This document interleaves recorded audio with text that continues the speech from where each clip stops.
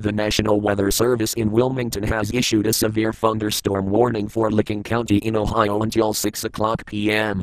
At 5.08 p.m. National Weather Service Doppler radar indicated a severe thunderstorm capable of producing penny-sized hail and winds up to 60 miles per hour.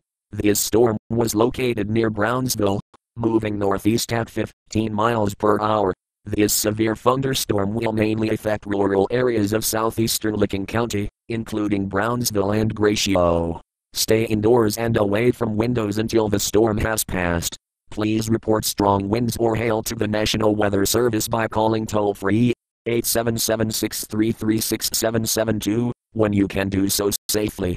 A severe thunderstorm watch remains in effect until 11 o'clock p.m. Tuesday evening for southeastern Indiana, northeastern Kentucky, and southwestern Ohio.